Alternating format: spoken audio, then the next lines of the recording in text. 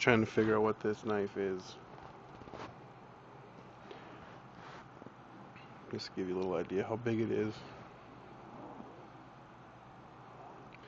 compared to my Ruger LCP.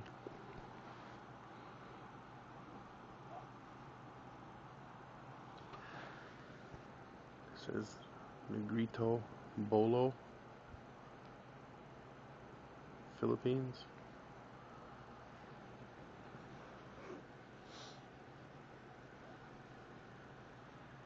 If anybody knows anything about this, let me know.